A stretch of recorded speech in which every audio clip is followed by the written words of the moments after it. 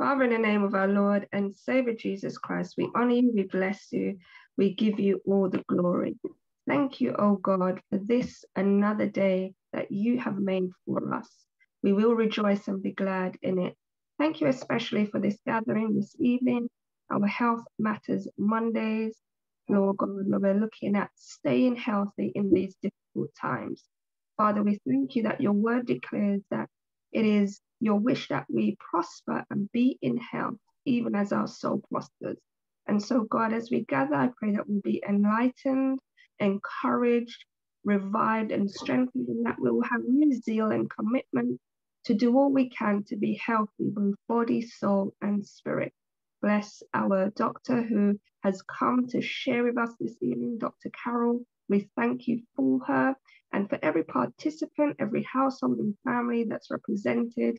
God, we give you thanks and we pray, Lord, that we'll have a grand time of learning and sharing together. In the name of Jesus Christ, we pray. Amen. Amen. Amen. Thank you, Sister Kay. Thank you. So, Saints, we're here tonight. We're going to be having a session on heart health. And so, without any further ado, I'm just going to um, just to give you a little bit of a background um, into our speaker for tonight, Dr. Carol Ighofose. Um, she'll be our presenter of this health and well-being session.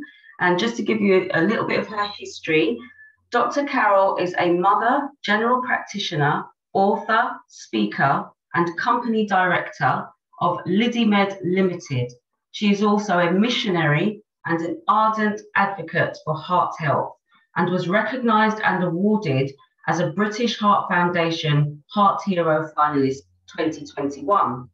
In her local church, which is Bethel Pneuma Tabernacle Church in Leicester, um, she serves in the capacities of adult Sunday school teacher, church secretary, president of the local women's ministry. She also serves at the Bethel Center, Bethel Central district level in the capacities of leader of the Bethel Central Wellbeing Team and the first Vice President of the Bethel Central Women's Department.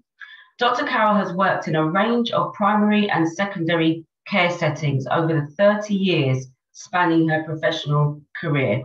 She currently works as a sessional GP in urgent and primary care in Leicester. Additionally, she has experience in a variety of clinical specialities in secondary care, including psychiatry, psychiatry, sorry, pediatrics, obstetrics and gynecology, and medical research with a focus on asthma, diabetes, and cardiovascular disease. Dr. Carol's passion for general well-being and women's empowerment issues is reflected in her first two books. Following a heart attack just over four years ago, she wrote the book Fearfully and Wonderfully Made The Heart of the Matter. She has used this book as a platform to highlight gender health, inequalities, particularly as it relates to women and heart health. Her second book, Can Women Have It All, published in February 2022, highlights selections of her personal experiences encountering and overcoming crises in life and revisits the age old debate about women's role in society and what is expected of them. But her enduring testimony is God has been good to me. She strides forward with her life's motto in hand and heart I can do all things through Christ who strengthens me. Philippians 4 13.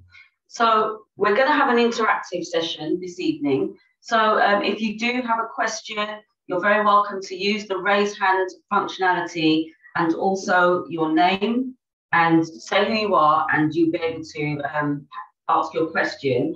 You can also please put questions in the chat to Minister Erica, and at the end, she will be asking those questions on your behalf. So once again, it's going to be an interactive session. Please use the raised hand functionality. And when you're asked to speak, just say your name and ask your question.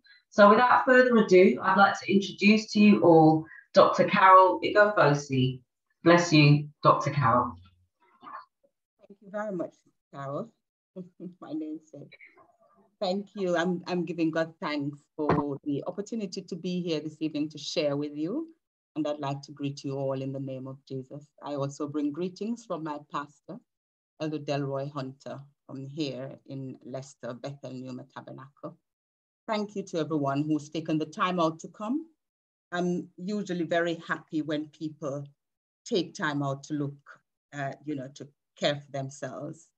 So without further ado, I'll go into the presentation that I've got prepared.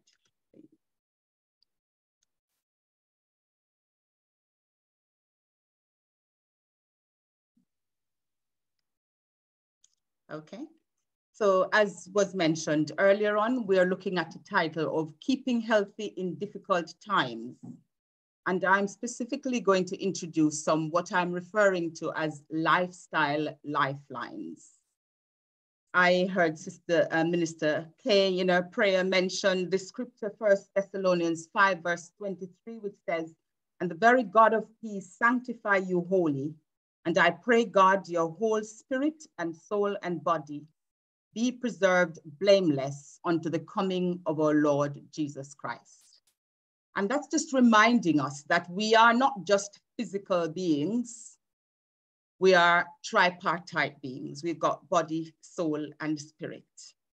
But whilst we're here on earth, my pastor says, whilst we're living in our earth suit, then unfortunately we're subjected to all sorts of diseases, lots of things happen, all sorts of heartaches, all sorts of difficulties. But we have to negotiate those. But we know that our Father wants us to remain healthy, not just our spirit but our body, soul, and spirit, so that when he returns for us, all of these will be blameless. And tonight we'll be specifically looking at how we can keep ourselves healthy. We'll be looking at specifically the body, but bearing in mind also our soul, which is our mind, our will, and our emotion. And of course, our you know, goal is always to remain healthy spiritually, where we have a connection and maintain connected to our Heavenly Father. So at the end of this session, I'm hoping that those of us who are here, individuals who are here, will be able to at least define some key terminologies that I'll mention, and we'll be able to contextualize difficult times. We say we're facing difficult times. Just put a little bit of context to that. Just look a little bit at traditional health and well-being practices and strategies. You know, what have we done in the past? And am I bringing anything new to you this evening? Perhaps not much. But what I do hope is that I will at least put things into a sort of a framework, if you like, so that it will be easier for you to recall things that I've said if we have a framework, usually that is easier to do. And maybe I'll bring you some new information. But as um, Sister Carol mentioned earlier on, it will be interactive um, as much as we possibly can. And I will be looking for us to having a lovely time. So the first interaction, what is health? Have you ever thought about that question? what is health? Anybody would like to offer an, an answer to that question?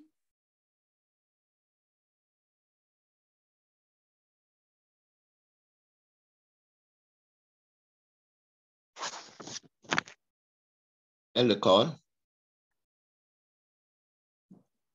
Wholeness of being. Wholeness of being. Yeah. Okay, so health is wholeness of being. Thank you, Elder Carl. Anybody else?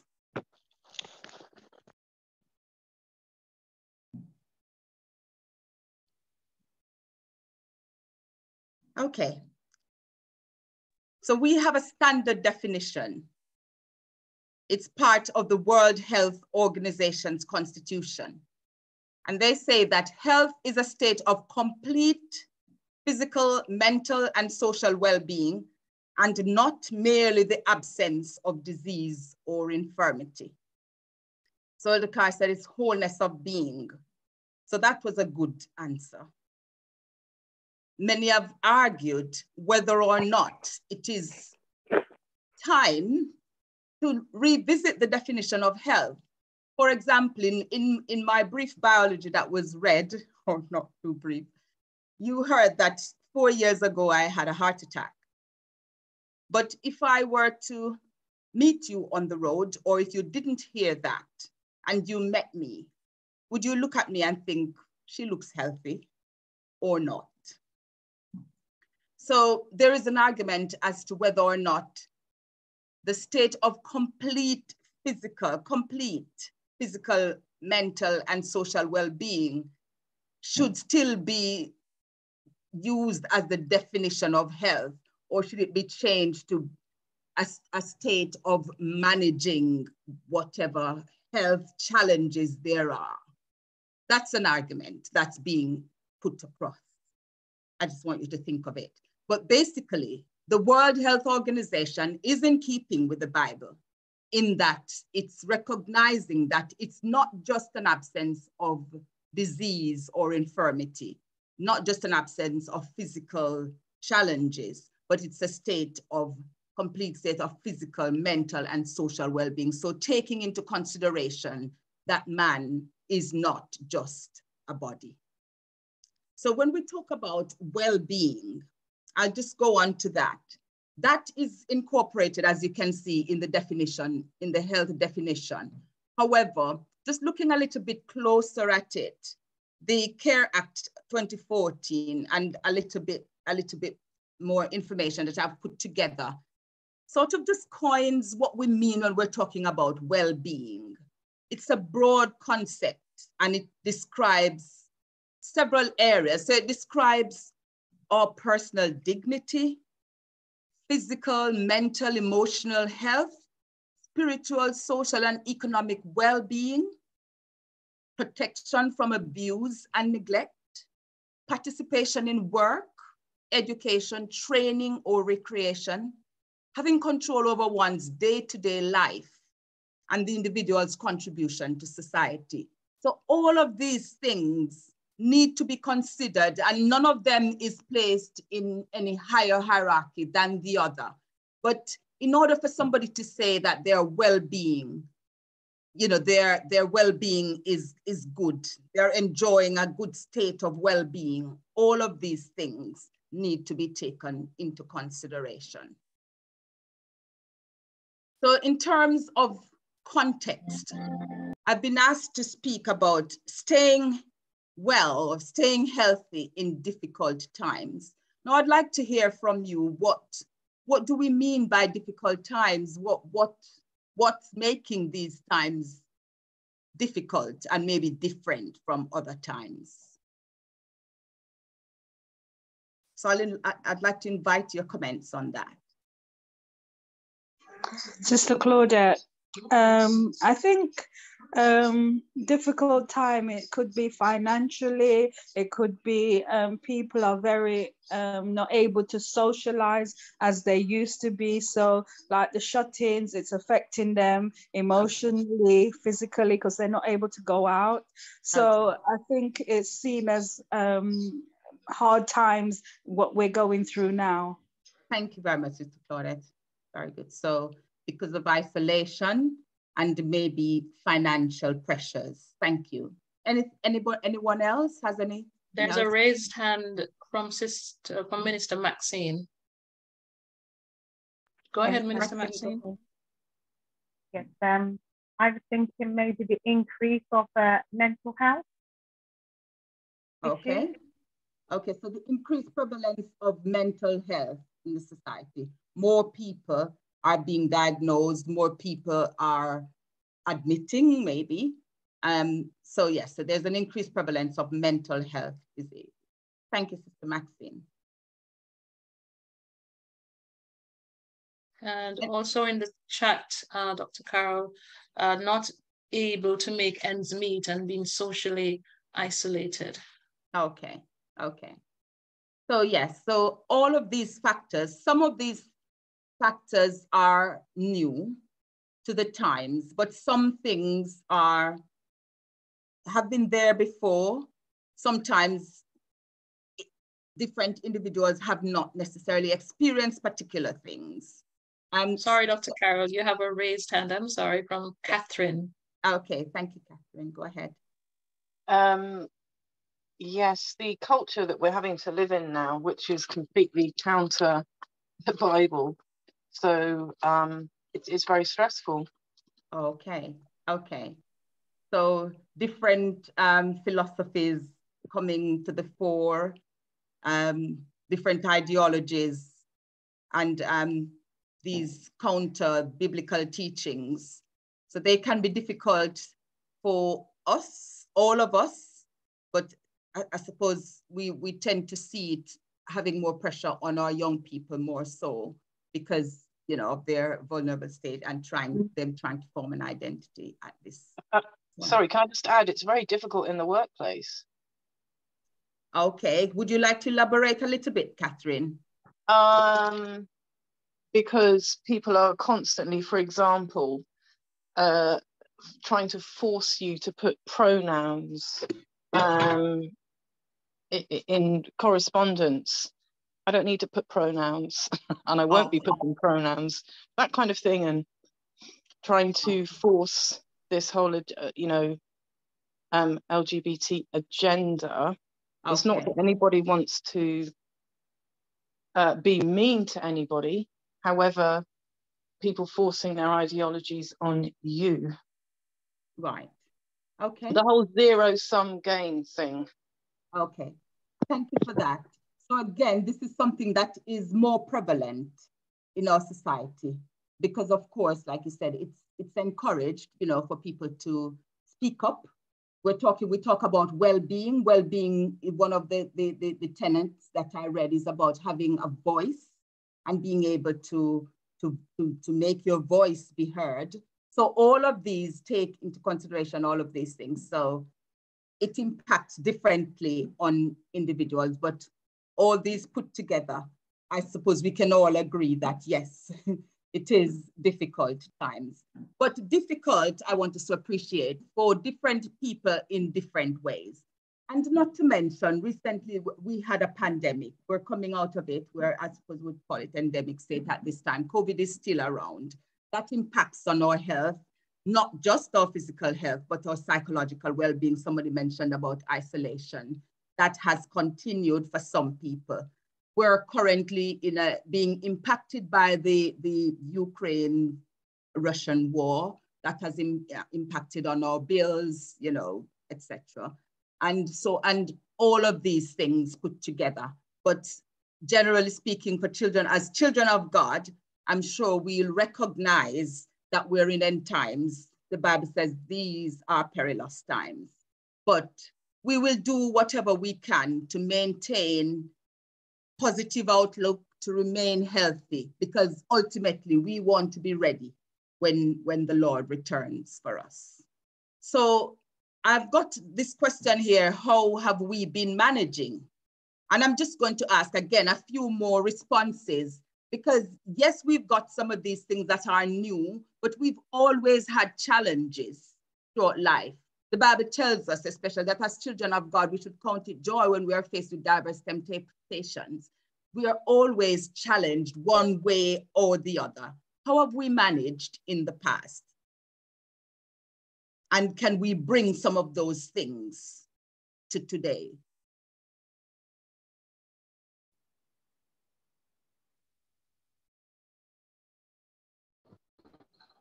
Sister Eileen, I think in the past there was a, um, I, um, I can be corrected if I'm wrong, there was a greater sense of community okay. and the extended family, family was very imminent. You had the grandparents, parents, aunts and uncle, everybody was contributing wow. to the well-being of each other.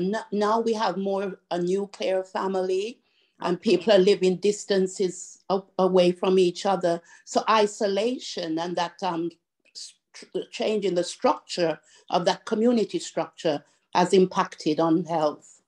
Okay, thank you very much for that, Riley. Thank you. So change sometimes break down in the family unit. Sister Karen Powell? Yes. Um, if you've got like an, an illness or you're coming down with something, now you can um, you can go on the internet now and you can search uh, what sort of disease or what you're suffering with, and you can get uh, information of um, how you can what you can take for it or any sort of maybe herbal remedies or, or how best to treat it now. So the the the internet now is is has a lot of information about that to help you. Okay, so we've got access to information, a plethora of in information, um, including to manage our health. In the past, yeah, how how was that dealt with? Right, me, me personally. No, just generally speaking, how, how, Oh, did, right. how did individuals deal with health problems? All right. It, it- anybody can answer.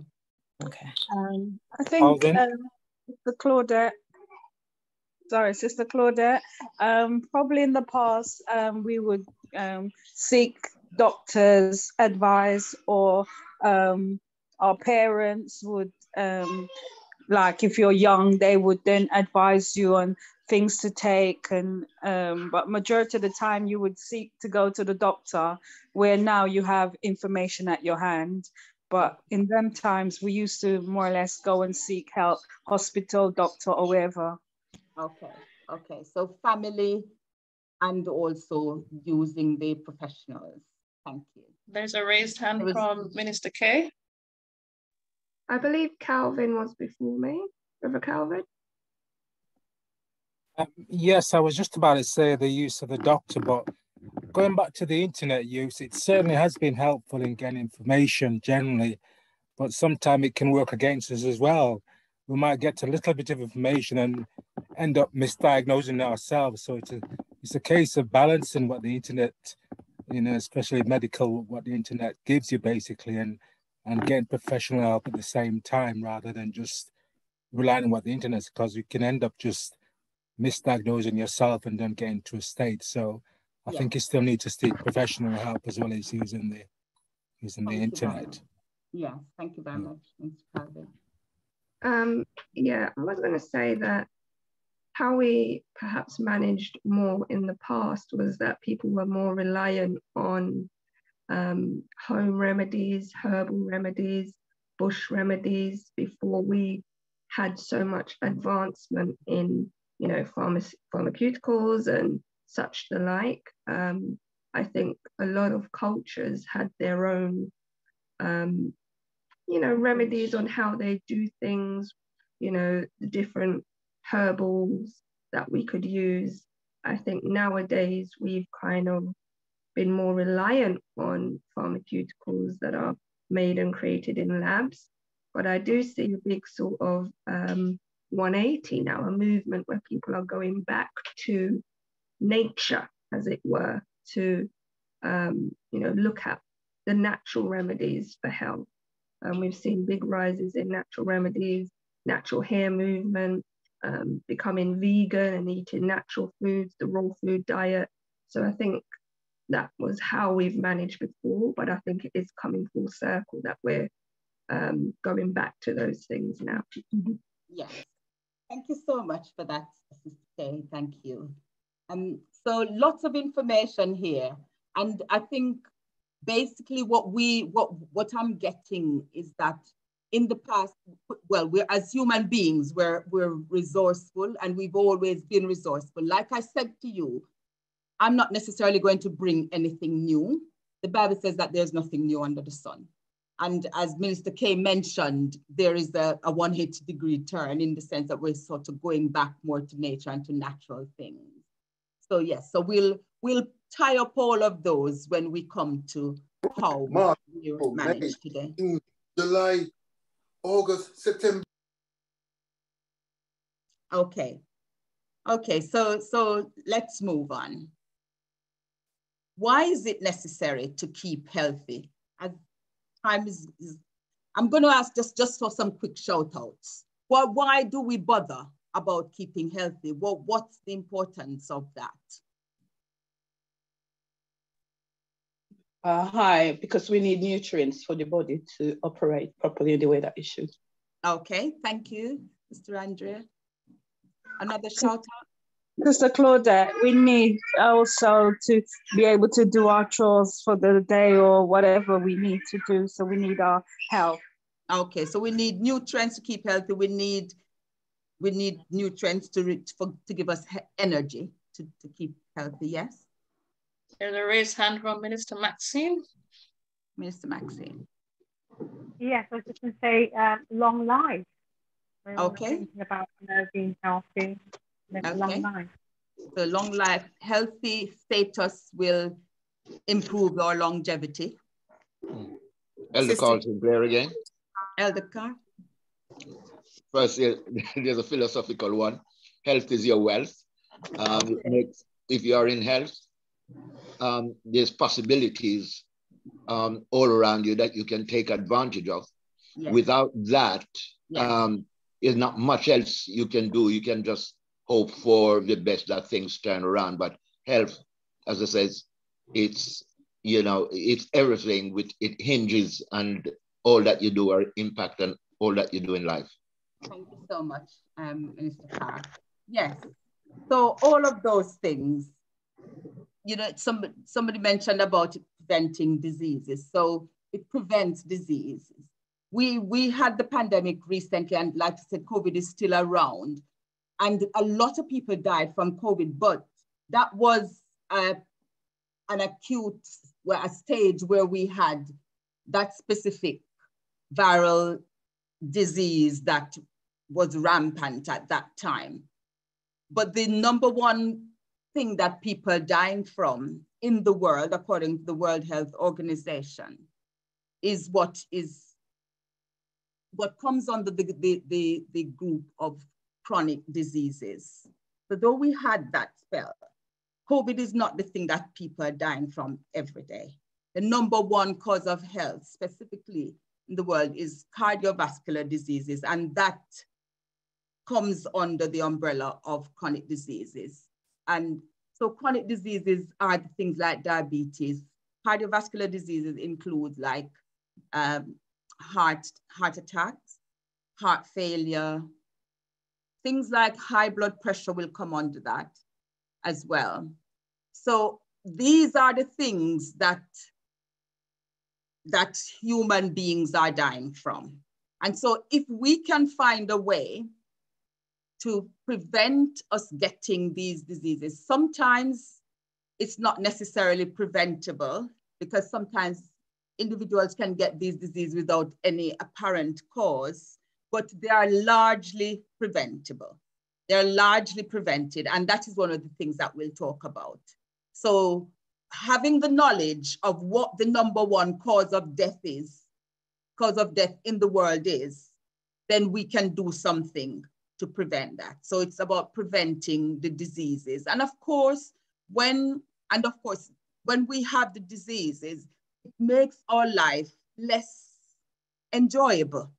As Minister Carl said, if you don't have health, you know, life is sometimes even questionable about, you know, how, whether or not you, it's, it's how, whether or not you, you, how you live it. I won't say whether life is worth living because, you know, once when, when you've got Christ and you're able to tap into certain things, then you can always find something to be grateful for and life can be, can be manageable. But we don't just want to, to, to exist, you know, or survive. We want to thrive. And so that is one of the reasons why we need to keep healthy so that we can enjoy the best of our life. We can enjoy the best job. We can avail ourselves to all the, the amenities that are available to us, that are available to us so that we can have a, an enjoyable life. It improves relationships to family life. If a parent is ill, for example, it puts pressure on family life. Children may find themselves becoming carers. And it's just not nice when a parent is ill. My mother died when I was 10 years old, and she was unwell for a few years before she died. And even at that tender age, it is still imprinted in my mind the difficulties and the struggles that my mother went through. And the, I, I remember very vividly how it affected us as a family. So being healthy means a better life for relationships and for family life. Health is wealth, again, uh, Minister Carl, in a lot of ways. If you're healthy, you can work, you can have a good job, you can, like I said, avail yourself of, of education, training, etc., that are available and improve. You can, you know, embark on entrepreneurial activities and in, increase your earnings if you're not well, if you're not well, you can't do those things. We have the NHS, so we don't necessarily pay for healthcare upfront in England, but in other, in other societies, people have to pay upfront for healthcare, and that can be absolutely draining. And just things like, you know, having insurances, paying for insurances. If you've got certain chronic conditions, those things will cost you more. So being healthy will save you money in a lot of ways. And one thing that is common nowadays, we're always talking about the environment. We're, as children of God, we, we don't worship Mother Nature, but we do have a responsibility to look after our environment and just eating healthy. Um, Minister Kay mentioned about going back, people going back to plant-based foods. If what is happening and what has, has, has spiraled all these chronic diseases predominantly is the, the, the number of or the amount of processed foods that we find ourselves eating in today's society. And those come with processing, meaning using, you know, energy and the gas emissions and then all the packaging and all of that sort of thing. So that impacts on the environment as well. So keeping healthy does have quite a few benefits. Uh, Dr. Carol, before you move on, you have a couple comments uh, based on the last statement. Okay. Uh, pre it prevents diseases, improves your mental health. Okay. The body needs all the health, nutrition for growth of the body muscles, etc. If a person is living a healthy life, eating well and making sure they're getting a lot of fresh air, walking regularly, but still encounters having a heart attack, what else could have been the cause? Okay, we will come to that. That's a very good, good point. I'm, I'm going to ask if I don't specifically mention that, please remind me because that's a very good question and it's a very good point. And I can tell you that's been exactly my story. okay, so that's very good. Okay, so like I mentioned earlier on, the definition of health by the World Health Organization indicates that health is the, the, the absence of disease and infirmities, but the complete um, absence of those. There's a complete state of well-being. That's not the reality of many people. That's not my reality. That's not the reality of our aging population. So when we're talking about staying healthy today, in these difficult times. We're all experiencing the isolation and the financial pressures and the, the different ideologies that are coming up in society and all these things that you mentioned that are pressing on us. But how do we go about staying healthy? So if we've got chronic diseases, for example, in order to stay healthy, we need to be able to manage those. I've had a heart attack. Once you've had a heart attack, your heart muscle is damaged. There are degrees of damage that can be done. Um, my story is such that unfortunately, I do have a degree of heart failure because of the, the primarily because of the delay in, in getting treatment. And that is one of the reasons why I do talk a lot about heart health. And um, because it is important, for example, that if you have, if you think you're having a heart attack, that you get the treatment as soon as possible because it can re result in more damage than would otherwise have, co have caused. But if you've got chronic diseases, it means you're not going to fold your arms and give up and say, woe is me, oh my God, I've got chronic disease, I can't do anything. You have to manage it. So it's about managing chronic diseases. If it's about maximizing function. So my heart muscle is not as it were a few years ago. But what do I do? I don't just sit down every day and leave it to, you know, continue its demise. I have to do exercises to strengthen all the other muscles in my body, but also my heart muscles. So it's about being aware of all those things. If you've got diabetes, for example, sometimes it might affect, it could affect your vision, for example. And if that has happened, it's it's about managing whatever function is left to try and prevent further deterioration. If you've got arthritis, managing your weight, for example, will help that. Arthritis, for example, of the knees. If you've got excessive weight, then that will put more pressure on that. So when you've got, when we've got things happening to us, things that have occurred, it's not the end of the world is what I'm saying. We need to maximize whatever function we've got left. Optimizing medication regimes. Um, Minister Kay mentioned about, um, you know, people going back to using more natural remedies. That is true. And, but there are medications that have been proven and tested, gone through the, the, the you know, the, the pharmaceutical regimen and we know that they do work. For example, the tablets that I take, I know that they have been through all the trials and they do work and they work for me. So I don't, I don't omit taking my medications. If you if you are at the place where your faith is such so that you feel you don't, you can manage without medications, then you know, that's for you to negotiate. But in, in, a, in, in, in cases where medications are prescribed, taking your medication to maintain your health, to staying healthy is very, very, very important. Prioritizing different health risks and outcomes. So just being aware of what risks are and avoiding risk. We'll talk about some things when we go in a little more into lifestyle. But just being aware, we talk, we, we had, we talk about COVID, we had a pandemic. We had to do what we had to do to avoid getting the disease. And nowadays it's so prevalent, it's like a part of our lifestyle. We have to learn to live with it. But still, we do take precautions. And especially if you're living with a chronic disease, you know that your risk of getting complications from things like those will be in, increased. So you try and manage those.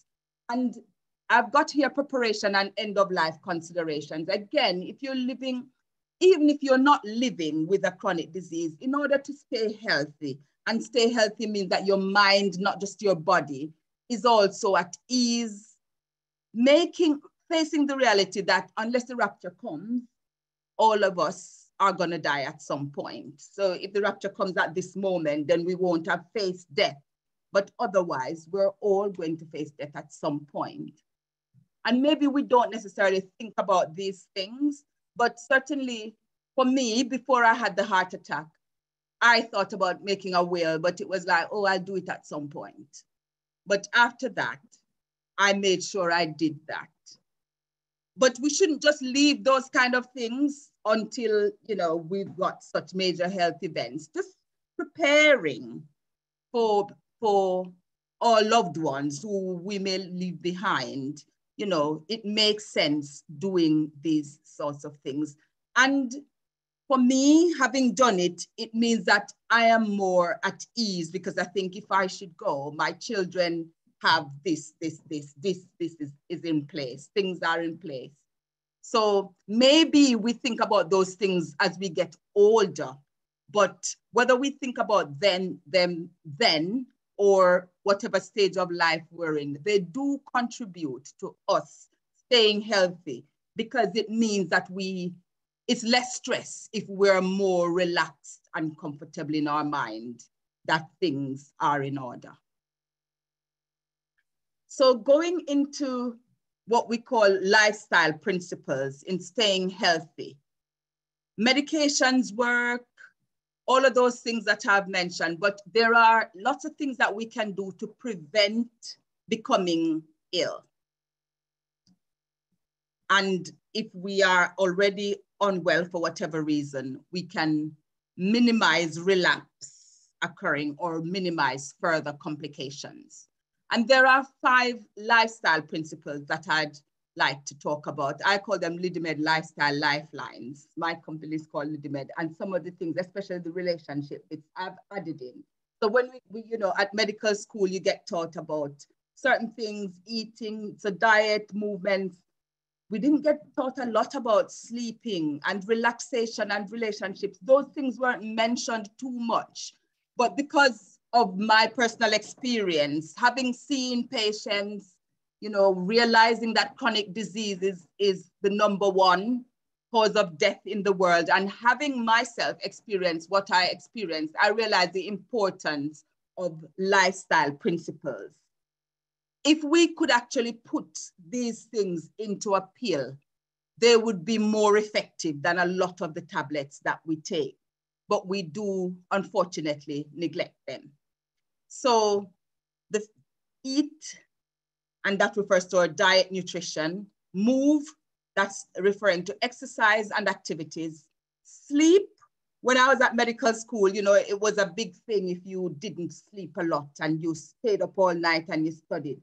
And even in the workplace, I've heard people say, oh, sleep is just to rob us of our time.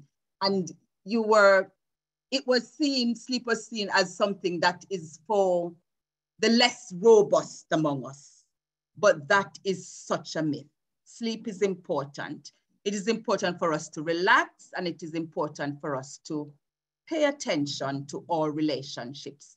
So we'll talk a little bit more about these five lifestyle principles.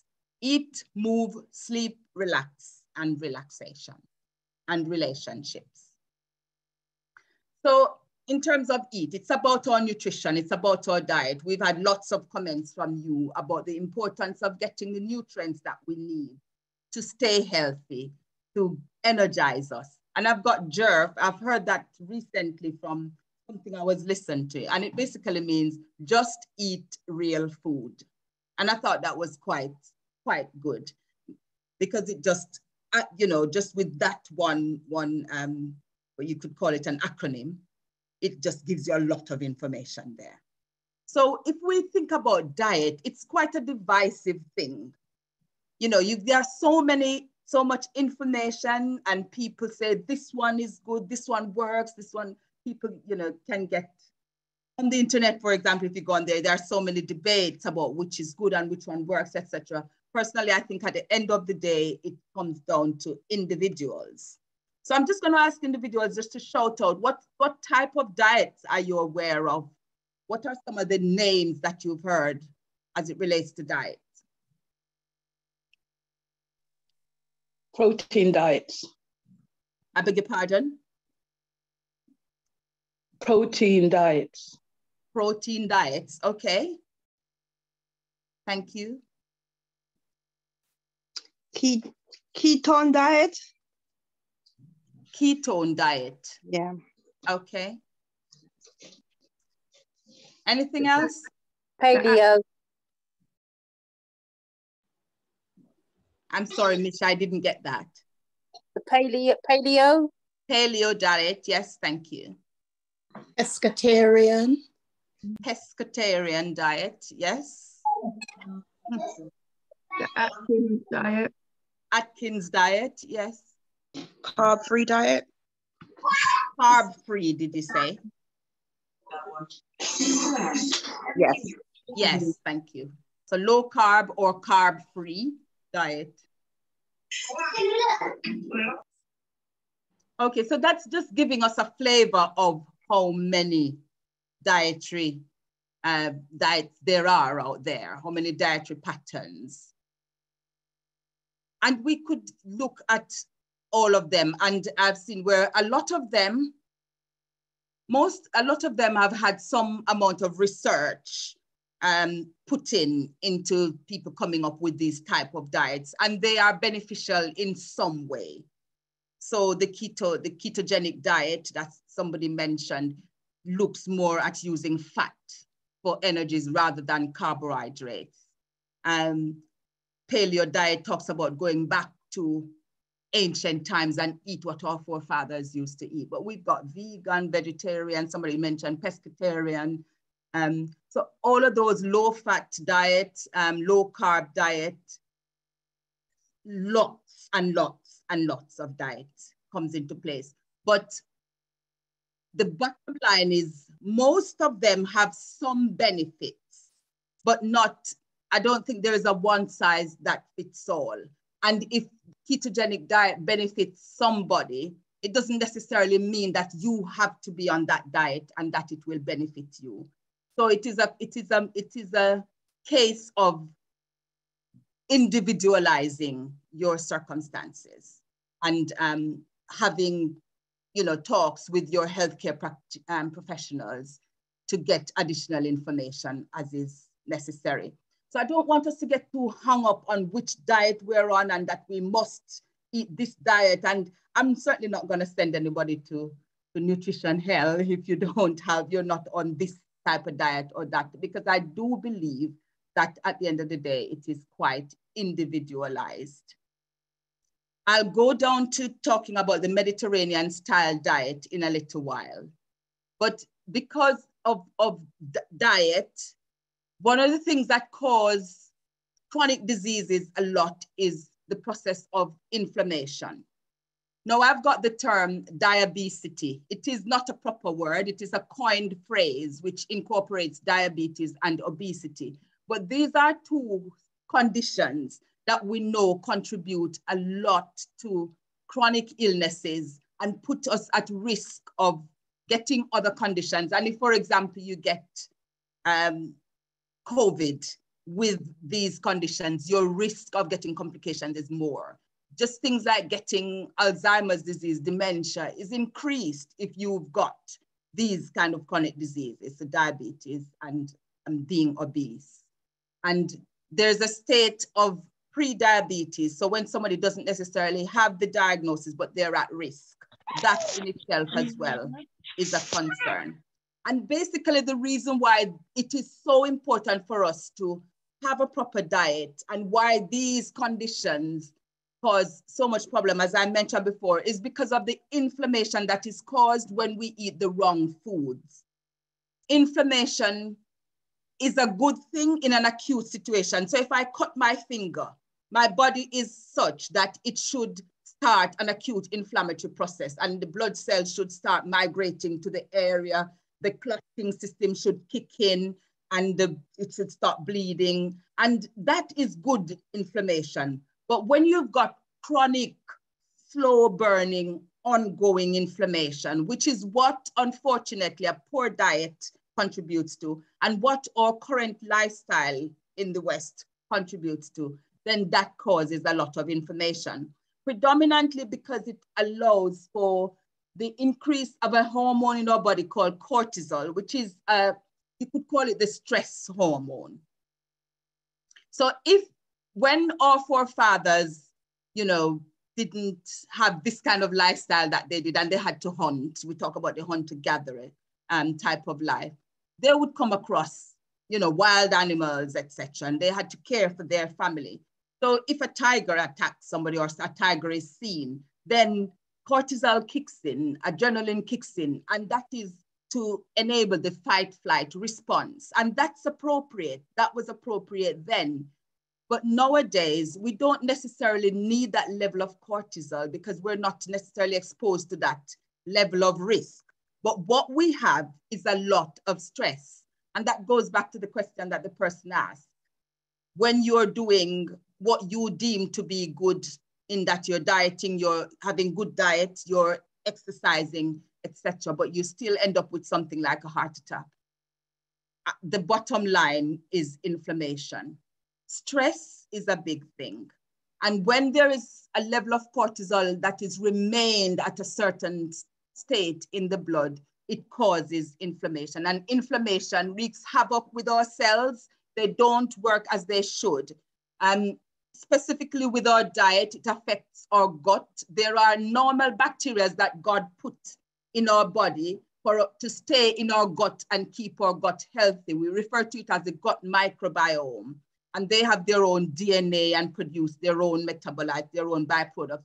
Those are put there um, naturally to remain and keep our gut in a healthy state. But when we take a lot of antibiotics, when we eat certain foods, it damages our gut lining.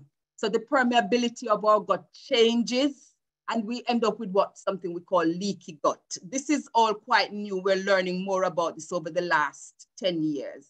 And as a result of leaky gut, we can end up with more inflammation because things that should stay in the gut are getting into our bloodstream and they affect all parts of our body, including even our brains. It's meant, it's, it's believed according to research. And so diet is very, very in, important. So you may think, okay, I shouldn't have a lot of uh, sugar, so I'll have artificial sweeteners, but even those unfortunately affect gut permeability and can cause this inflammatory response.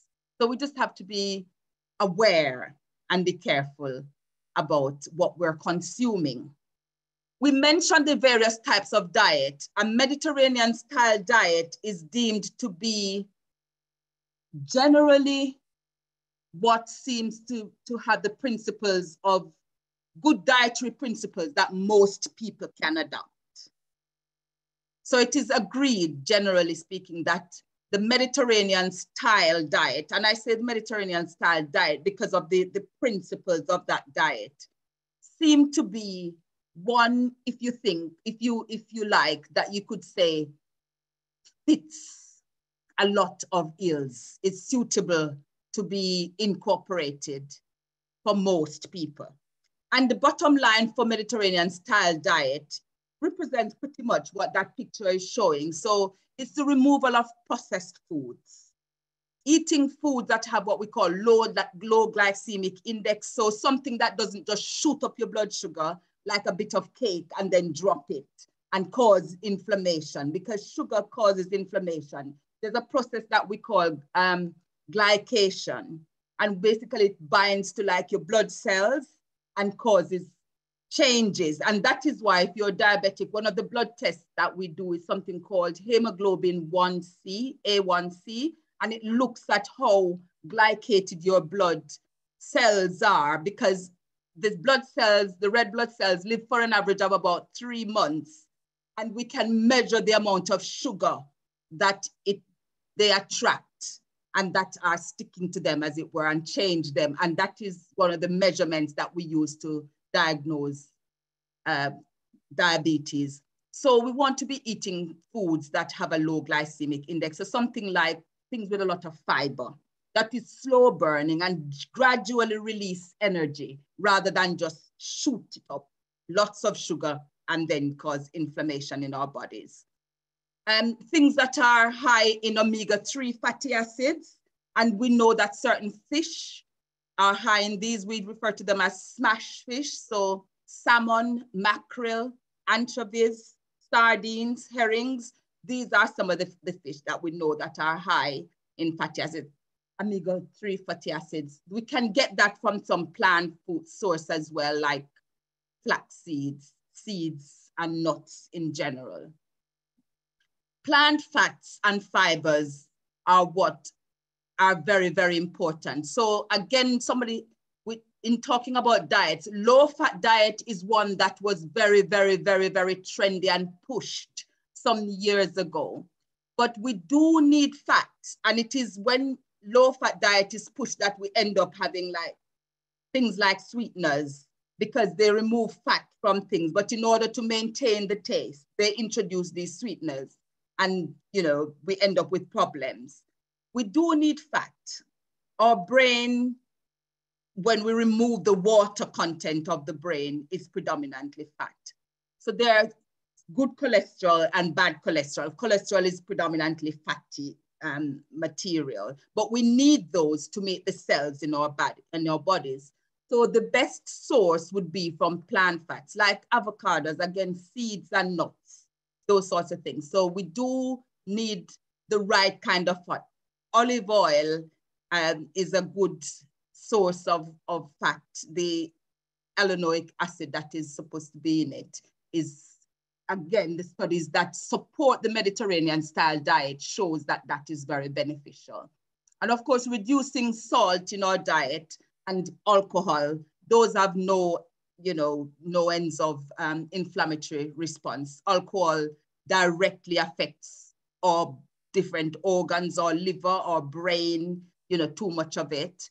Caffeine is an interesting one because it does reduce blood supply for example, to the brain, and it can cause, you know, things like palpitations because of the release of certain hormones that it allows. But recently, I think just a month ago, um, I received an email about the fact that they've done recent studies which shows that certain caffeine, well, caffeine in general, but if you have, it is rather than saying that you should not have any caffeine, the recent research is suggesting that about two or three cups of coffee, coffee a day is actually beneficial. But having said that, it is recommended that you have it at certain times of the day. So for example, you wouldn't be having caffeine for, it's recommended like about two o'clock in the afternoon is when you would have your last cup because it will impact on your sleep, for example, if you're having it too late. But things are changing and there are always you know, different things coming to the fore because of ongoing research. But I put that in there just to, to, to highlight the fact that there's been new evidence around caffeine. But all the other things that I'm mentioning seem to be general principles that have remained over time. So reducing salt means using, you still want your food to be tasty, so it's using more herbs and spices. And all the herbs and spices that we tend to use do have lots of medicinal properties. We going back to what Minister Kay's said about, you know, going back to natural sources. So the thyme and this onion and the garlic and the scallion that we use, those things are, are have been found to have medicinal properties that are good for our bodies and certainly are better than using a lot of salt and artificial seasonings. But again, it means that we may have to change the way we, we season our foods because our taste buds need to adapt that way. And intermittent fasting is something, again, that has been shown to benefit us uh, in terms of maintaining very good health and reducing inflammation in our bodies and preventing all of these chronic diseases. Um, if you need to know more about that, we can talk about that later on, but I'm gonna try and just quickly go through um, because time is going. Supplements, I wouldn't say go into Holland and Barrett and just pick up things, but a lot of research has been done which shows things like vitamin D to be quite beneficial, especially for individuals with darker skin because we tend to get benefit less from the sunlight. And just by living in this part of the world, this part of the equator where we get less sunlight, especially at certain time of the year, a lack of vitamin D has been shown not just to, to cause bone problems as we previously thought, but vitamin D does impact almost every cell in the body and specifically affects um, immunity. So vitamin D supplement is largely recommended. The NICE guidelines recommend a certain amount for just about everybody, but the, the, the correct thing to do, if possible, would to be to have a blood test to gauge what your exact level is and to be clear about exactly the amount to be taken. And I've just put that scripture there just to remind us that the Bible tells us our body is the temple of the living God and we're expected to look after it. So a lot there about diet. Now the other lifestyle principles in terms of keeping healthy is about moving. And I've put move rather than just putting exercise because exercise versus activity. Some people say, oh, but I'm busy looking after my children. I'm running around, you know, I'm running after them every day and I'm busy doing this, that, and the next. But that may be considered as activity. It basically um, relates to the amount of energy uh, that you, calories, I would say, that you end up burning as a result of the activity that you do. So it's important to keep active, you know, rather than sitting down and watching the TV. You could, you can be moving your legs, you can be moving your toes, you can be moving your arms. That's activity. Every little helps, as I say, as best percent. But um, even that will help, but that does not necessarily substitute for proper exercise. So again, the recommendation is that exercise can be moderate, it can be mild, but moderate exercise of about half an hour for about at least five days a week is what is generally recommended. And it can take whatever form you fancy. You know, things like walking, dancing, hula hooping. I like to do that.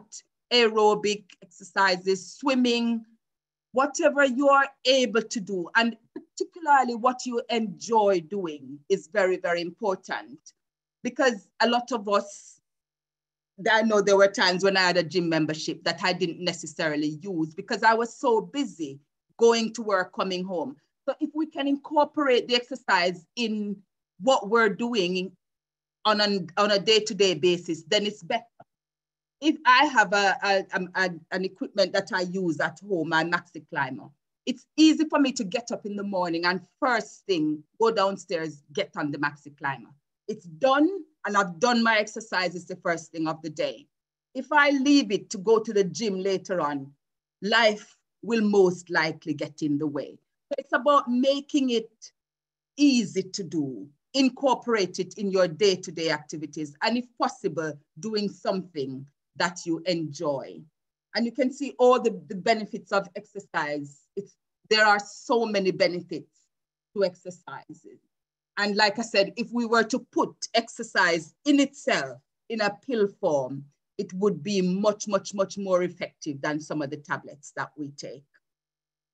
Sleeping, I mentioned earlier on, is underrated. We don't value it enough.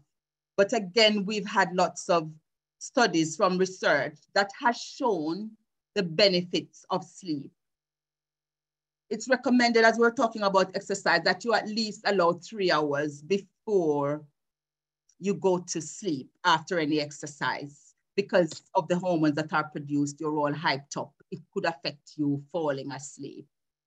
Now, when we sleep, it's important to get not just quality sleep, but the type of sleep. Because as we sleep, our body goes through different phases. We get REM sleep where we have our dreams, but we also need deep sleep which we sometimes refer to as our beauty sleep. And when that happens, certain processes occur. For example, there's a system that is referred to as the glymphatic system, which it's like the waste disposal system for the brain. Until we're getting enough sleep and getting deep sleep, that doesn't seem to come into play. But when it does, it like shampoos our brain. It reduces, it removes the toxins that are built up in our brain throughout the day. And specifically some proteins that cause, that are associated with Alzheimer's disease, tau protein, for example, those are removed with this system during deep sleep. And of course, when we sleep properly, the hormones in our body that regulate our weight are able to be regulated properly. So there's something called leptin and re, and and re, and lenin. Sorry, leptin and ghrelin. Those are two hormones that regulate our appetite and our hunger. And when we don't sleep properly, for example, if you're on night duty, they go haywire and it affects your ability to lose weight. It affects how your weight is monitored um, is, is measured. So sleep is very important. It is important to have a good sleep schedule. So it's the, the studies have shown that it's best for our body if we go to bed and wake up the same time every day, even if we're not going to work.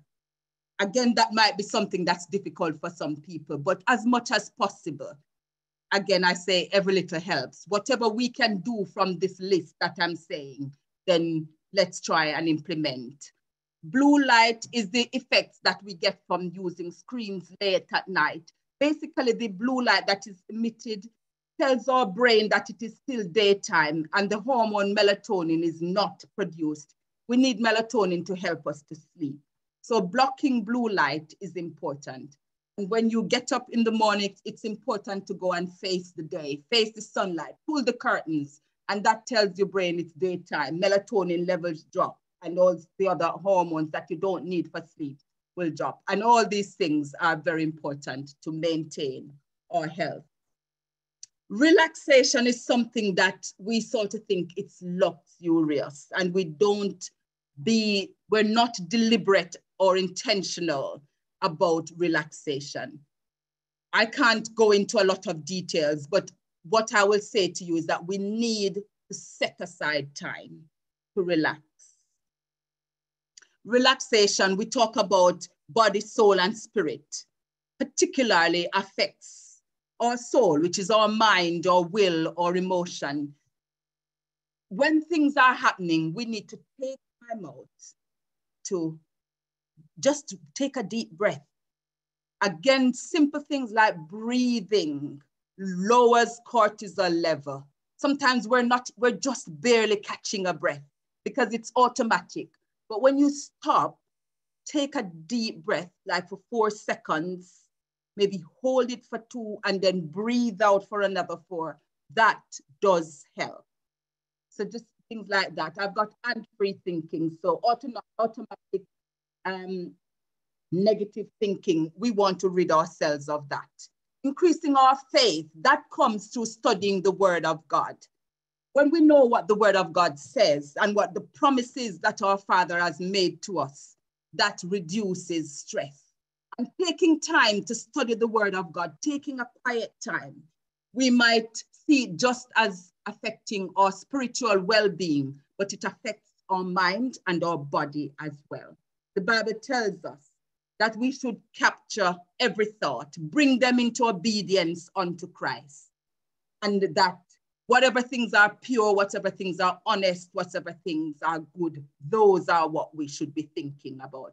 So talking about why somebody might get a heart attack when they're doing all the other things. If we're not relaxing enough, if we're not reducing our stress level, cortisol will be at an all-time high in our body. It will cause inflammation and it will wreak havoc in our bodies.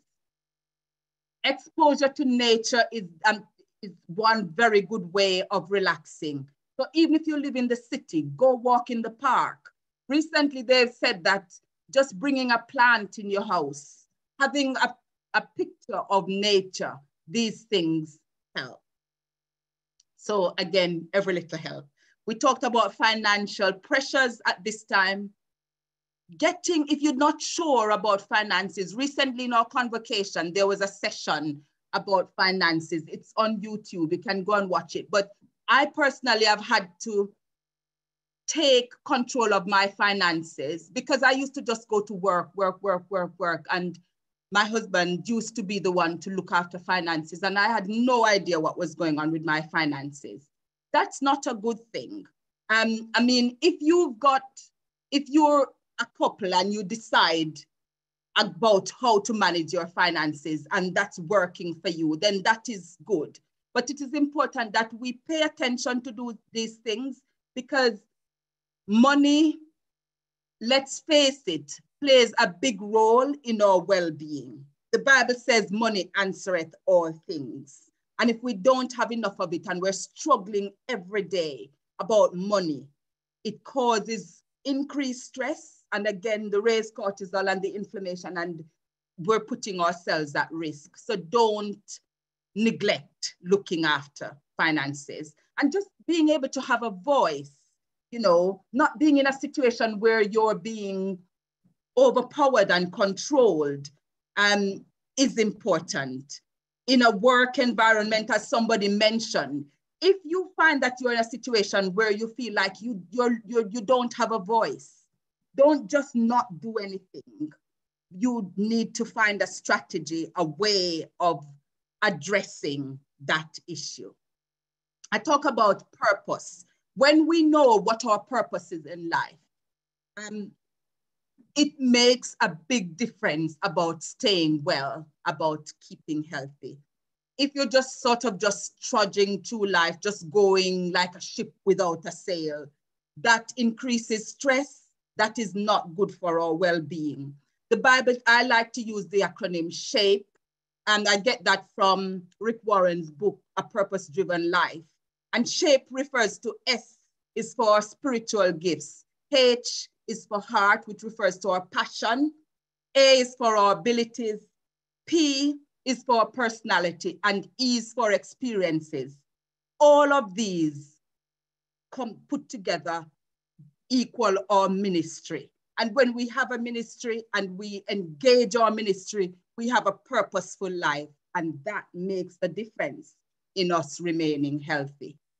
And just put epitaph there and I just want us to think, if you had just, if you were told you've got a year to live, or maybe a month or whatever, what would you do different?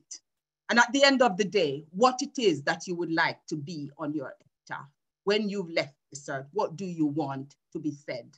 Sometimes we have to remember about not sweating the small things and taking time out to relax. And relationships is a very, very big thing. I realize that time is going, so I'm going to wrap up but do not underestimate the value of relationship. God has put us together. We are here this evening as a church. Somebody talk about the lack of the family structure. Those things should not be underestimated. And where it is possible, engage in it because no man is an island.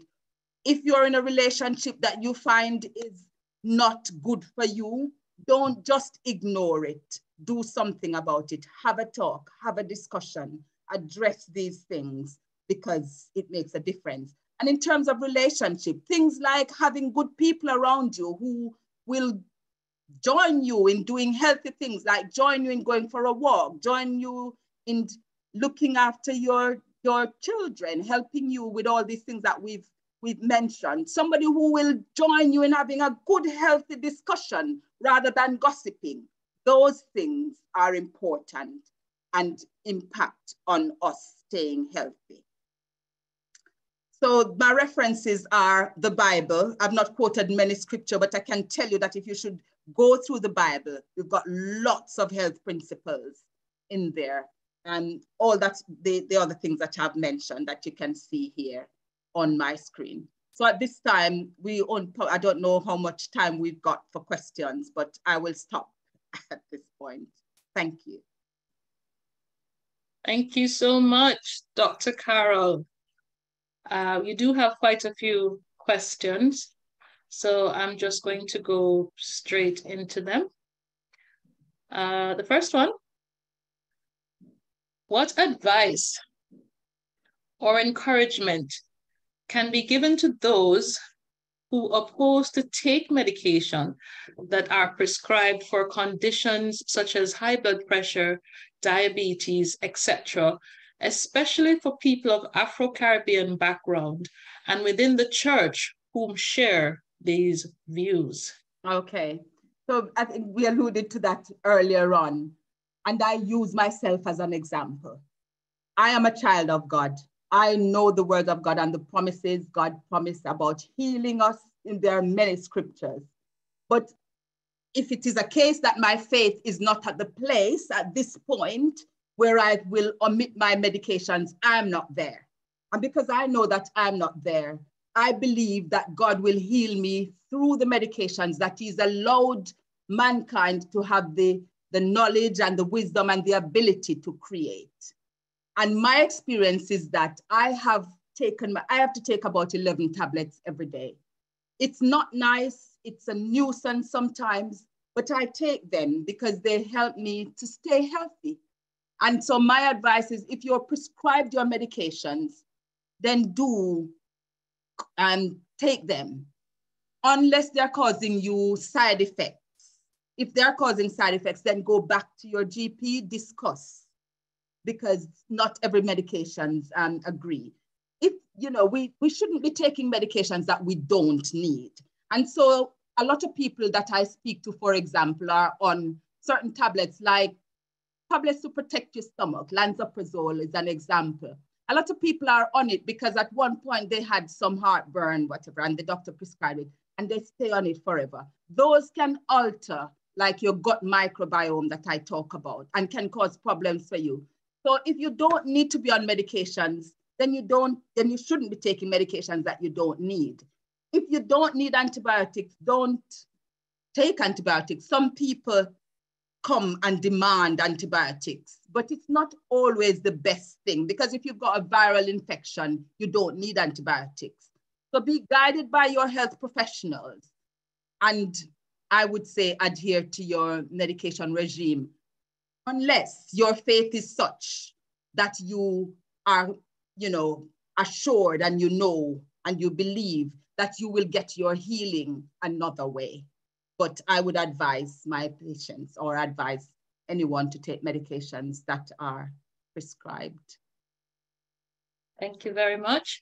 Uh, the next question is how do you recommend eating healthily when you have multiple food allergies?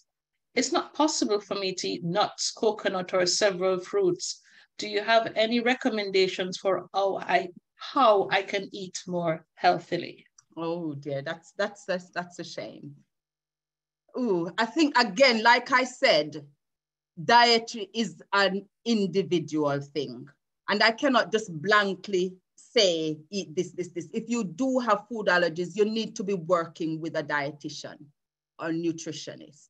And that is what I would advise that you seek out with your GP to try and get um, referred and work it that way. Because if you do have allergies, it can obviously make things worse. So that, that would be my recommendation. And that's why I said it's individualized. Thank you very much.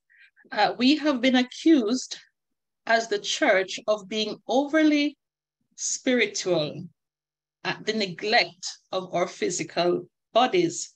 How much responsibility does the church have to teach about physical health? I think we have a lot of responsibilities. That's why I started with the scripture where we're encouraged by Paul to maintain not just spiritual health, but that when the Lord returns, he would like us to be, our body, soul, and spirit to be preserved. And in First Corinthians 6, where I, I read that scripture, we're reminded that our bodies are the temple of God. And so we glorify God in our bodies as well. If you're not well, we are God's hands and feet on this earth. And if I'm sick in bed, I can't minister as much as I can if I am not sick in bed. You know, I might be able to pick up the phone and encourage people. And if that's your if that's your reality, do whatever you can. I talk about your shape. What if you know if your experience is such that you've had you've had a, a, something happen to you, use that experience to minister.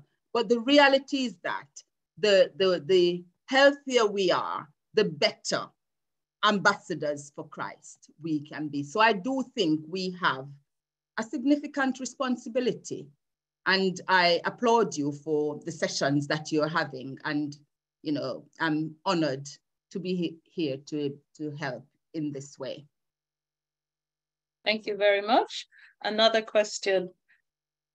As a church, I know we, must, we mainly fast for spiritual benefits, but surely there is a great benefit for fasting for your physical health. What are the benefits? Okay. So you see, again, God is so wonderful. And I talk about spending time to study the word because in it, in there are eternal life. There are so many good life principles. There is, there is something called the Daniel plan, and some people take it to the Daniel fast. But it, it that Daniel plan is about a lifestyle that is based on diet, but also incorporating your faith and your focus on God and friends getting brethren included. But one of the things that the Bible talks about, you know, for our spiritual well being, and I'm sure when God said it, He knew that it would help us physically as well, is, is fasting. So, again, fast, when we fast, it allows our body to use the extra calories that we store. We're in a Western society where we're not, food most times is not an issue most times we have too much food and so we overeat. If we have too many calories in the food that we take in, our body stores it and it stores it as fat.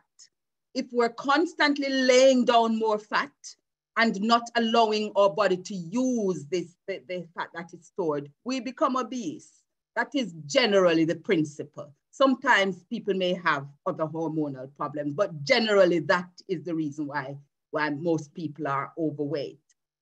If we fast, and at least when we fast for about 12 hours, we allow our body to go into a fasting state, and then that kicks in, I suppose you could call it the ketogenic state, where the body starts using the fat that is laid down.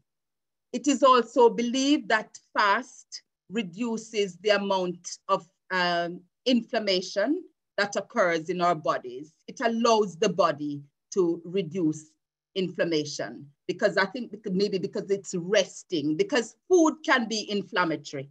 If you eat too much sugar, like I explained earlier on, that's an inflammatory process. So if that's not there and you're fasting, the inflammation level will be reduced. And of course, if that is reduced, the cells will be working properly. The systems by, by extension will be working properly. And generally, you will have very good health. And I'm sure there are probably some more unique ones that I can't think of right now. But generally speaking, it allows our body to go into fast, it reduces inflammation, and that covers a myriad of pathological things that occur in our body. Thank you. On the back of that, this question came in. Do we do we need to be mindful of natural sugars in fruits? Okay. no, that that is something that I I don't think I still have very clear evidence about. Suffice it to say, we are advised not to have more than about a fistful of fruits in terms of the fruit portions. Because again, if we're having fruit, even though it's natural sugars, if it is a spike where it suddenly goes up. So we eat a big mango or 10 mangoes or whatever. It's a big uh, glucose load because that's how our body, it's fructose is the sugar in the fruits, but it will eventually be stored as, as glucose. And that spike can be inflammatory and our liver has to process it and all of that. So it is recommended that we don't have too much at a time even though we're meant to have the portions, some we, we say at least five. In fact, um, some recommendation would go as far as saying, rather than five portions of fruits, have more vegetables than fruit, because it is felt that too much of the fructose, especially if it is significantly risen quickly, can cause inflammation and put too much burden on the liver, for example, to process to process it. Thank you very much. Coming down, um, are there different nationalities or are different nationalities prone to different diseases or conditions? Yes. And that is about, I think probably genetics, but also environment. So we know, for example, that people of um, South Asian and Afro-Caribbean origin, we tend to get diabetes, for example, more so than the Caucasian population. But the Caucasian population, for example, would be probably more, get tend to get more heart attacks than, than stroke. So we as a Black population, there seems to be a higher prevalence of stroke than heart attacks, for example. So some things and some, some inflammatory disease, like inflammatory bowel disease, tend to be more prevalent in Caucasian populations. So, so there seems to be some things that are more prevalent in certain ethnic groups.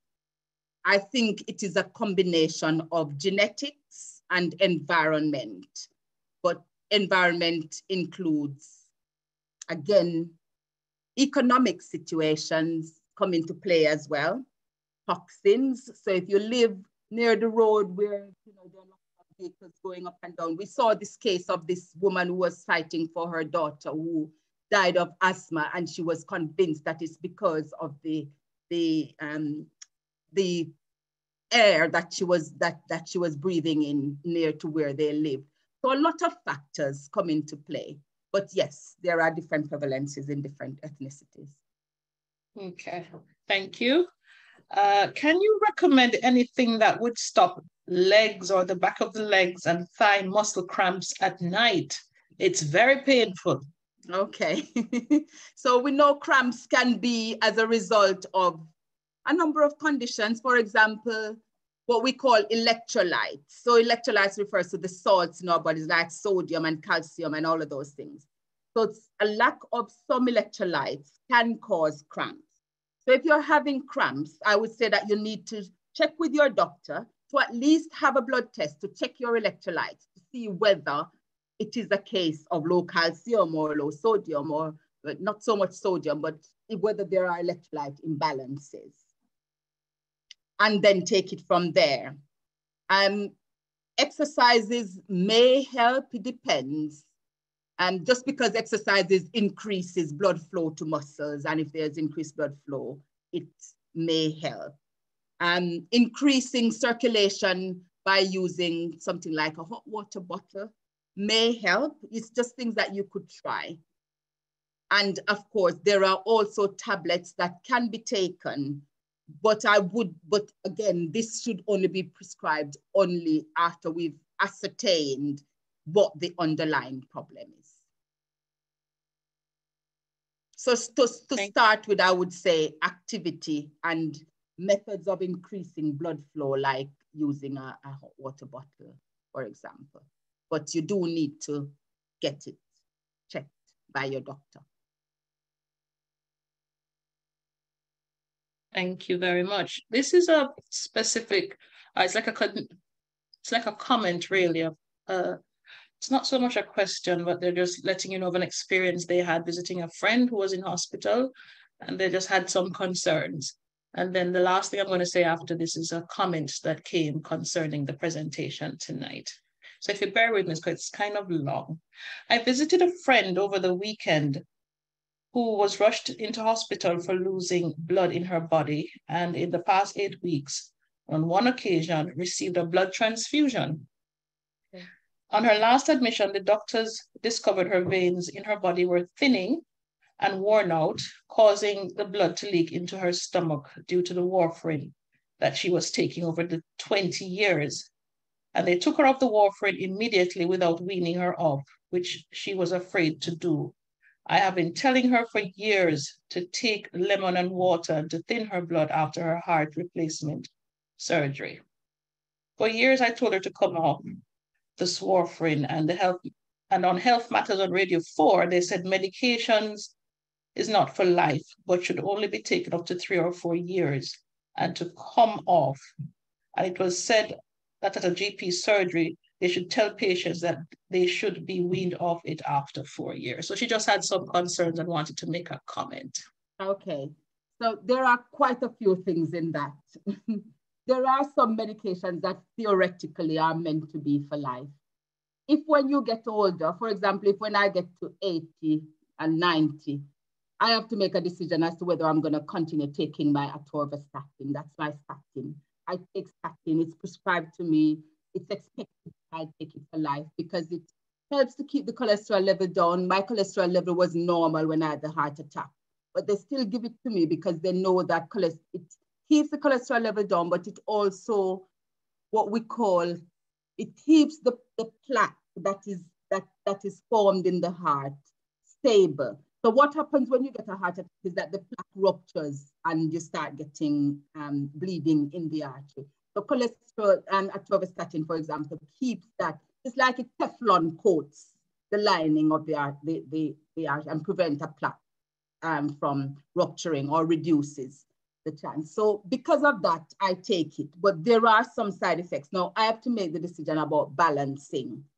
Some people get more side effects than others. So if it was, if it were affecting my legs so much so that I couldn't walk, because some people get cramps, another cause as well for leg cramps. Then I would have to make a decision about stopping it. But because I don't have any of those and I know what the benefit is, I carry on taking it and I'm expected to take it. It's to be a lifelong illness, just like some of the other medications that I take for my heart. So there are some medications that theoretically are meant to be lifelong. Warfarin, for example, depending on what it is used for, may be a lifelong medication. We don't just give people warfarin and leave them on it without monitoring it. There's a blood test that is called INR, which is International Normalized Ratio. Wherever you go in the world, you can have your INR checked. When I went to Jamaica on holidays and I was on warfarin because I had a clot in my heart after I had the heart attack, they were able to do that blood test and I could determine what dose of warfarin to take. So if you're on warfarin, you're meant to be having regular INR checks done. You're meant to have a target for which your INR is. So it's, for example, if you've had a heart valve, it will be a little bit higher. So it might be say two to three or yeah, two to three is a very common one or three, you most, most like most times three is the, the upper number, but there is a target and you're usually told your target your INR target. If it's lower than the target, it means that you're at risk of developing a clot. If it's higher than the target, it means you're at risk of bleeding. So people shouldn't be on warfarin and be left alone. If you're on warfarin, you're being monitored. Your blood test is done for some people weekly, for some people longer, and not sure if up to a month, depending on how stable you are. I, I don't know about lemon and water being good for thinning the blood. It probably is, but I do not have enough evidence to say to somebody, come off your warfarin and take lemon. I think that would be considered of me to be negligent if I, as a doctor, tell somebody to do that. So there are lots of things in what that individual has said. And I think it needs to be dealt with and on an individual basis. But the, the doctor, obviously, the doctor need to be a part of the discussion. And I think there are some clarifications perhaps that are necessary here. Thank you so much, Dr. Carol. This one just came in. I have I have a hard time persuading my male family members to go to the doctor when they are ill what can I do? Goodness, it is not, it is a, it is a thing. Most men, when they come to the doctor, they said, me only come because my wife said, the Caribbean ones. But most ones, most male will tell you, I'm here because my wife asked me to come or my wife sends me. It is a thing with male that they tend to be reluctant, more reluctant than the female or female species to seek medical help. Um, just point out that um, some things can be prevented if they are identified earlier than later. So when we turn 40, for example, in England, there's a free health check that we can all have. It's called the NHS health check. And for what it's worth, it's like an MOT. And you can go and have blood tests done to check for diabetes, get your blood pressure check, your cholesterol check.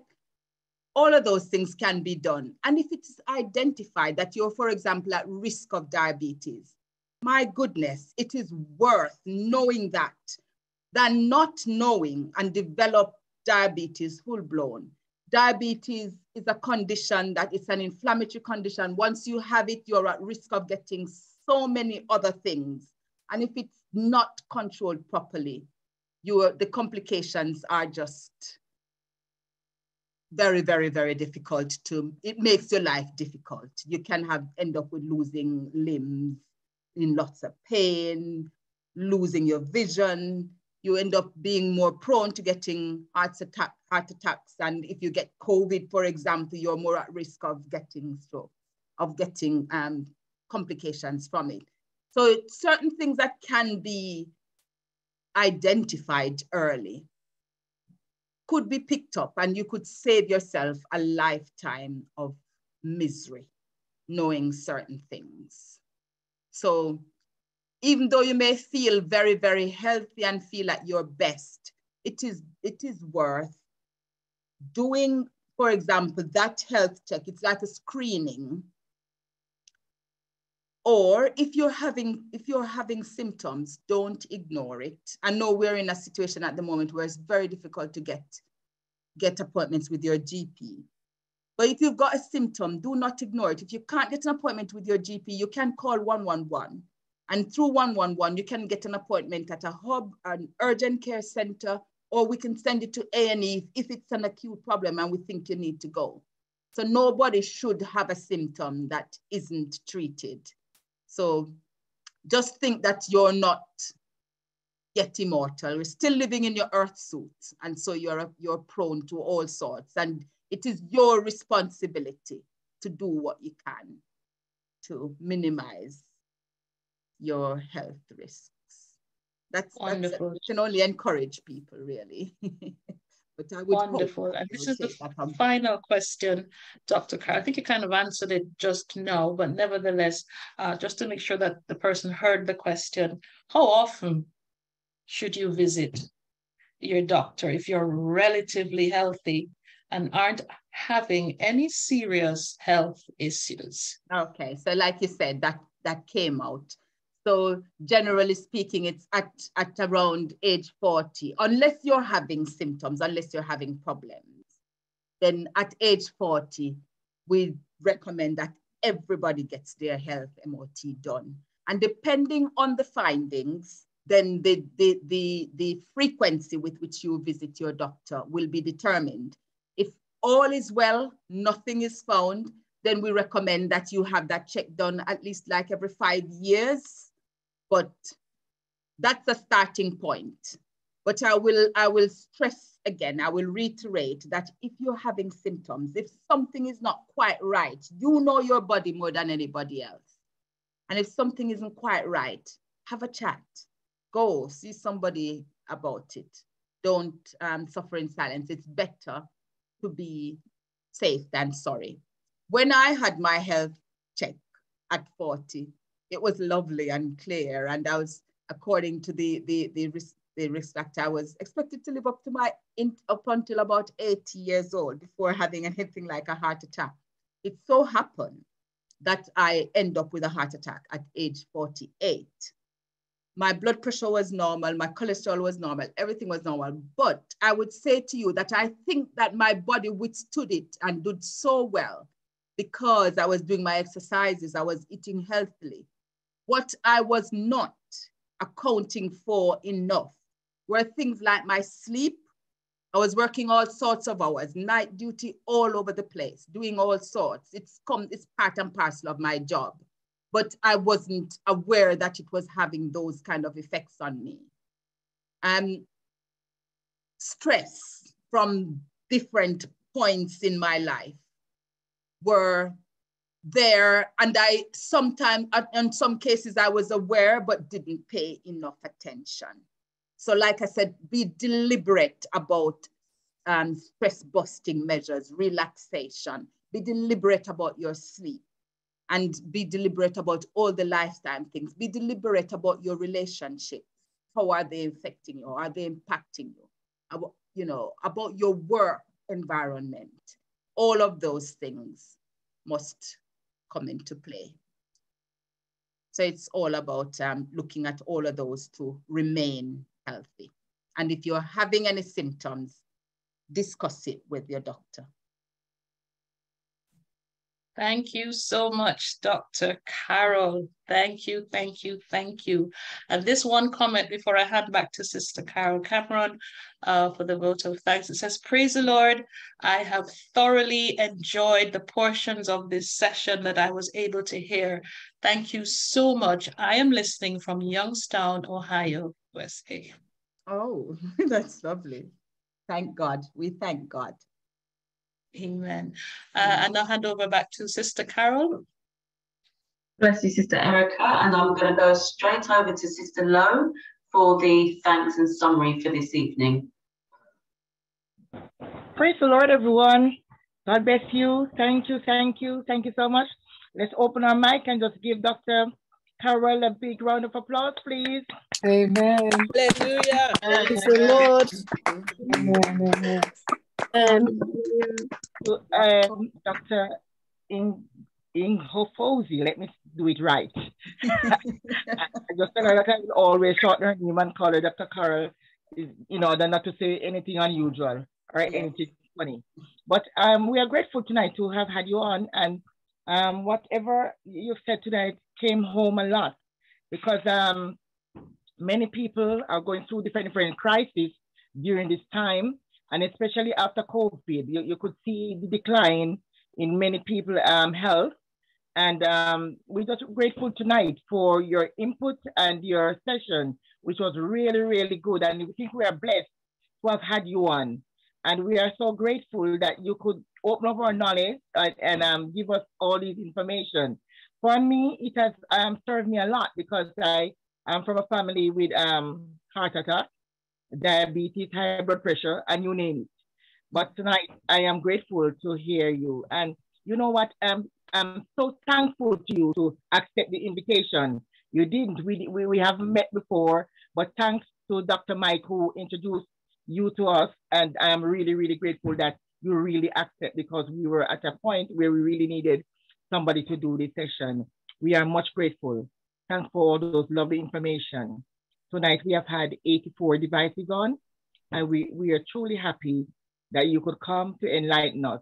And thank you for taking your precious time. When I spoke to you Saturday, you were still on duty, and you came when I said you're dying for some sleep, and you eat in your in your um talking tonight, you say how important sleep is. And I think all of us need to have some good sleep because many a times we're just bobbing around, not doing anything, but we, we need to know the importance of sleep. So that I'm thankful for my pastor, um, um, Elder Dunkley, and for our own presiding bishop, Bishop um, Linton. Thank you for being on, sir.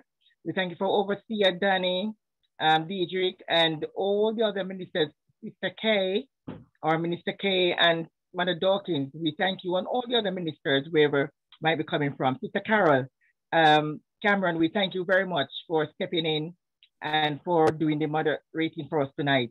I, I was a bit in a frenzy tonight because I went over to Kent to see my cousin, my sick cousin, and I didn't know if I would get back on time for the session. But thank God I made it. I, I was so happy. Thank you, Sister Erica, and all the COMS team for working so hard, so hard. Yes, we have one more session to go. And and after that, um, Sister Kay or Sister Erica might enlighten us more, but that's next week, Monday, which will be a spin-off. I think Sister Kay will, or Sister Erica will better explain that for us. Um, looking forward for that last one. We have to put in one, we should stop tonight, but because of popular demand, we, we, we are going to open up to next week, Monday. And that is adult session again. Adult session is only for adults, and um, the the COMS team will um, explain that. Bishop Linton, I don't know if you want to say anything. Um, after that, we're going to hand over back to Sister Erica, and then we're going to ask Elder Diedrich to pray and close in prayer. So Bishop Linton, I don't know if you need, you want to say any comments or anything.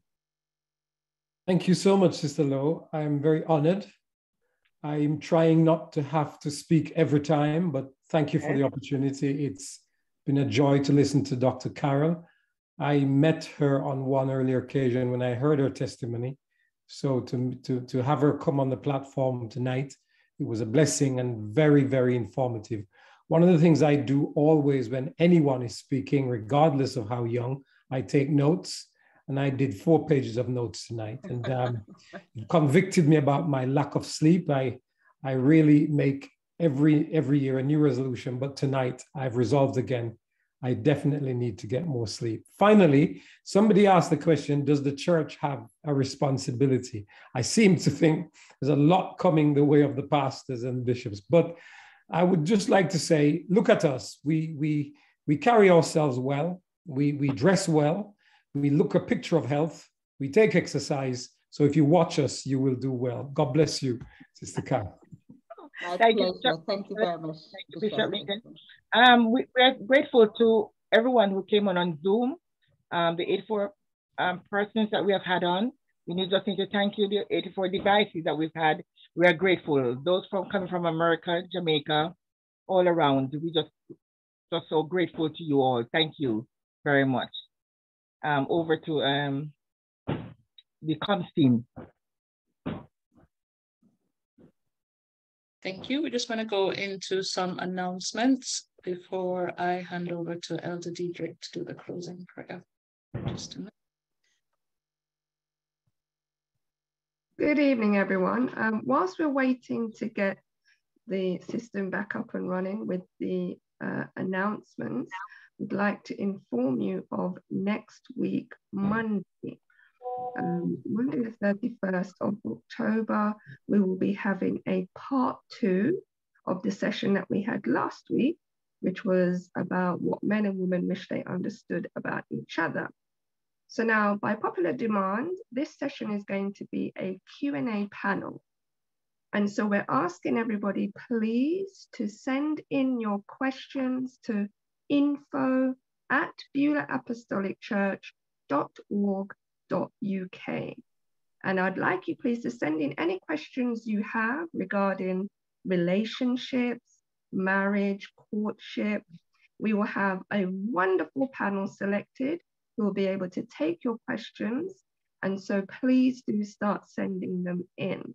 It will be an adult only session, okay, 18 years and above. Um, it will be down to parental discretion if you feel that you have perhaps a 16 year old who would like to join the session. That is down to parental discretion only, but please, it is an over 18 adult session only. Um, so please, we are asking that everybody start logging on from 7 p.m. 7 p.m. Okay, this will give us time to verify that you are over 18, and then we'll be able to move you into the breakout room where the main session will begin at 7.30. To make the process easier, we are asking if you could just come on on camera. That way we can just see that you're over 18 and you'll go straight in swiftly. Please don't be alarmed if there is a bit of a delay in getting into the breakout room. We are just going through the process of putting people in. So don't log off, just stay where you are and you will enter the session in a timely fashion as soon as we can. So please, you are welcome to invite others and share. Okay, send in your questions at info at beulahApostolicChurch.org.uk. The panel are ready and waiting to take your questions and we're going to have a grand evening. So I hope we are all looking forward to that. Uh, the session last week was a very informative, interactive, and, and quite a spicy one, if I can use that word. And so all the sessions are recorded. So please do, if you have missed anything of the past Mondays, please do check us out on the Beulah Apostolic Church channel on YouTube. Okay, so um, that's the announcement for next week, Monday, when we're discussing relationships, marriage, courtship, about men, about women, all of that good stuff. Okay, and God's point of view. So please do join us next week, Monday at 7:30. Um, until then, please start spreading the word. Okay. Um, also, whilst I still believe the system is down, so what we're going to do, I'm just going to carry on with the announcements. If we were in our buildings and we would be collecting an offering, so we're asking, please, if you have been blessed by this ministry, the series that we have been doing, the Health Matters Mondays, then you are welcome to bless this area of ministry. Uh, so you can give at paypal.me forward slash BACUK. When you go to the website, you can use your debit or credit card. Okay, please do bless us as the Lord has blessed you. And thank you to everybody who's been giving. Please use the reference HMM. And that way, the money will be allocated to this particular ministry. And we thank you in advance. Okay. And I believe that's the end of the announcements. Next Sunday, we continue in Beulah Willesden with the Family Month. Okay, and this is going to be a general celebration of the family. So we're asking everybody if you don't have your own assembly to attend next Sunday, Sunday coming, please do join the Beulah Willesden branch where they are having the grand finale, the last family Sunday of this month of October the focus on the family. So come out, enjoy, invite a friend, tell a friend to tell a friend, bring the family out and be blessed by God. And we will see you again next Monday for the close. God bless you all. Thank you so much. Minister Erica will close us out in prayer. Hallelujah. Heavenly Father, we come before you tonight. We give thanks with a grateful heart.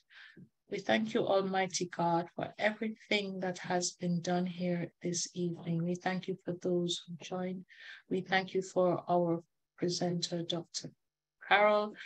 We pray you will continue to bless her. She has shared of her testimony. She has shared of the healing in her life. We pray as children of God, we will take heed how we can live better and put it into practice, not only be hearers, but doers.